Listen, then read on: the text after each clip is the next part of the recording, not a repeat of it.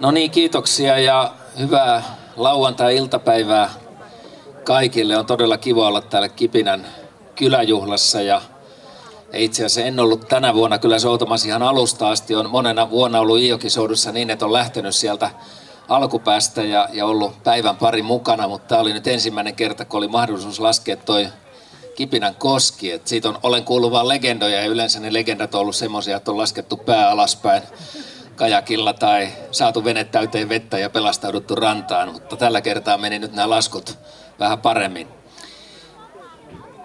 Äsken tehtiin pientä rahanpesua, kun tota Vitosen märällä setelillä ostin arpoja ja sen verran siinä koskessa kuitenkin taskut kastu, että, että tota setelitkin on märkinä, märkinä, mutta muuten tultiin ilman vammoja alas ja vissiin tuli muutkin venekunnat ja muutkin kajakit ja kanotit siitä tänään alas. Mä huomasin, että kun olin tänä aamuna vasta liittynyt tähän soutuporukkaan, niin oli numero 134 mulle ja tämä oli vissiin niitä isoimpia numeroita, että sen verran on tänä vuonna ollut soutajia Iokisoudussa mukana. Ja muistanko oikein, että soutua järjestettiin 37. kerran tänä vuonna ja täällä on ihmisiä, jotka on ollut alusta asti mukana ja jotka on ollut melkein kaikissa tai kaikissa souduissa mukana. Aivan, aivan uskomaton saavutus ja, ja itselleni on Iijoki soutuporukka tullut niin kuin monena vuonna tutuksi ja tuolla tietysti Hautasaarella on usein muisteltu sitten niitä, jotka on jo pois menneitä tästä porukasta, jotka on tämän ollut alusta asti mukana ja, ja tämän tärkeän suojelusoudun ää, aloittaneet. Minkä takia nämä virtavedet ja Iijoki ja Iijoen säilyminen vapaana on tärkeää, niin tänä päivänä luonto ja luonnon monimuotoisuus on yhä enemmän arvostettu asia ja kun Eilen oli mahdollisuus istua kaikkien EU-komissaarien kanssa Helsingissä, eli nyt kun Suomella alkoi tämä EU-puheenjohtajuuskausi ja kysyttiin, komissaarit kysyivät, mikä on Suomelle niin kuin tyypillistä ja ominaista, niin kyllähän se luonto ja luontoarvot siinä ensimmäisenä nousi esiin ja heillekin kerroin, että on huomenna menossa menossa jokisoutuun Iijoelle ja pitivät sitä kovin eksoottisena, että meillä tämmöisiä tapahtumia järjestetään ja että meillä tavalliset ihmiset arvostaa luontoa ja ympäristöä näin paljon.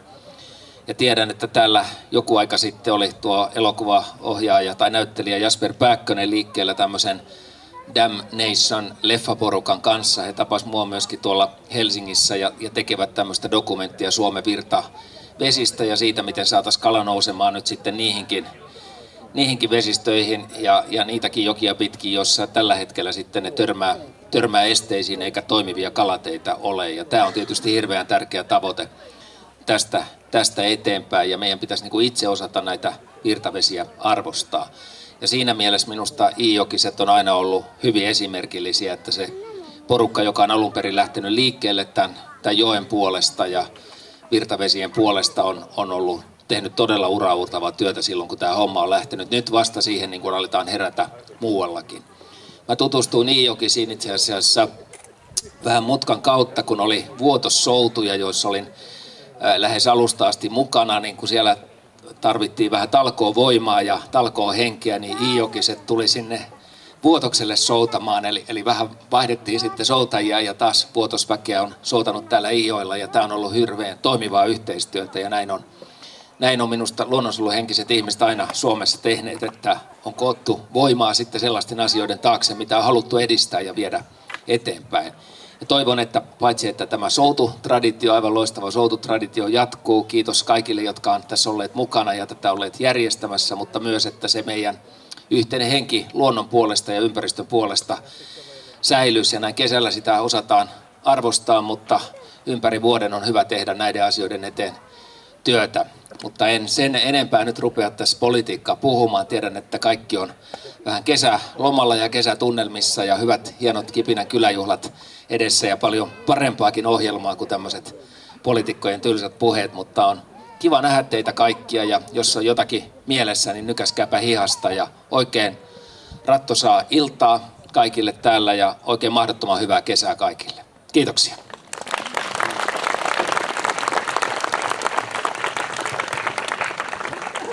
Hyvä.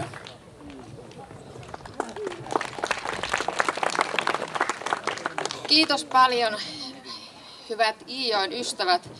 Ensinnäkin tuota, mä oikeasti haluan kiittää sydämestäni siitä, että mä oon saanut tulla tänne tänään ja kokea tämän kokemuksen teidän kanssa.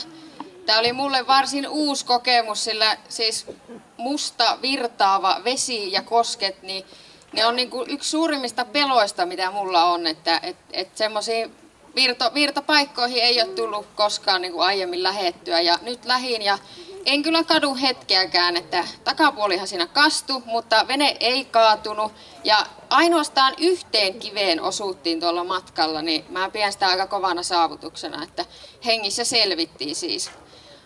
Oma suhde Iijokeen syntyy sitä kautta, että mulla on isovanhemmat ja isän puolen suku on Iistä kotoisin, että on, on itselle tärkeä joki kyllä.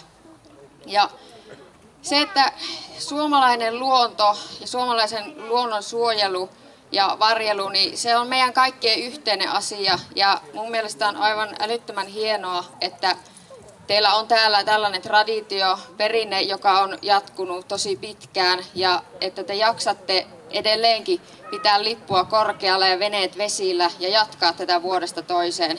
Ja se, että tämä yhdistää, yhdistää eri ikäiset ihmiset, että täällä on nuorempaa polvea tuolla vesillä, niin se on ihan mahtava nähdä. Ja tähän loppuun voisin lukea runon, nimittäin tänään on runon päivä ja koska tuota, tuolla vesillä siitä tuli puhe, niin mä laitoin saman tien viestiä mun avustajalle Minna Partaselle, joka on kova runonainen. Ja hän sitten siinä keksi tämmöisen ihanan runon tämän päivän kunniaksi.